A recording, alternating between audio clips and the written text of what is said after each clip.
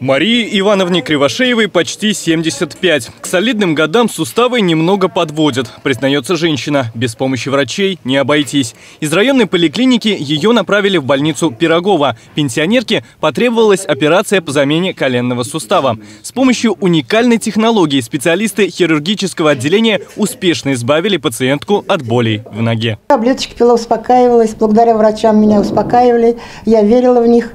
И все нормально слава богу. Отечность уже прошла, боль уже такой не стала, но стала наступать. Операция продолжительная, но эффективная. Это уже третья по счету помощь пациентам по тотальному эндопротезированию коленного сустава в больнице имени Пирогова. Николаю Михайловичу Афанасьеву только предстоит попасть на стол к хирургам. Перенес серьезную травму ноги. Говорит, что вполне готов, тем более на слуху положительные примеры лечения по высокой технологии.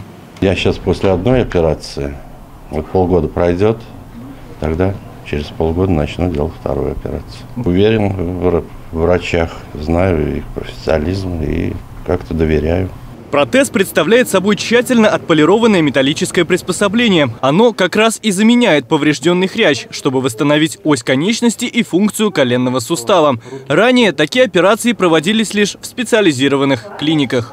Эндопротезирование коленного сустава является очень сложной операцией, потому что это не просто внедрить какой-то имплантат внутри колена, это нужно четко вымерить все углы, четко выполнить все спилы. Результаты показывают, что делать их нужно, и пациенты, в общем-то, довольны в послеоперационном периоде. Операции проводят в рамках обязательного медицинского страхования. Внедрение новой технологии в практику больницы Пирогова – большой шаг в повышении качества и доступности оказания медицинской помощи жителям Самарской области, а также пациентам из других регионов. Президент Владимир Путин в своем послании отметил значимый вклад высокотехнологичной медпомощи в увеличение продолжительности жизни россиян. Владимир Маркин, Роман Апарин. Новости губернии.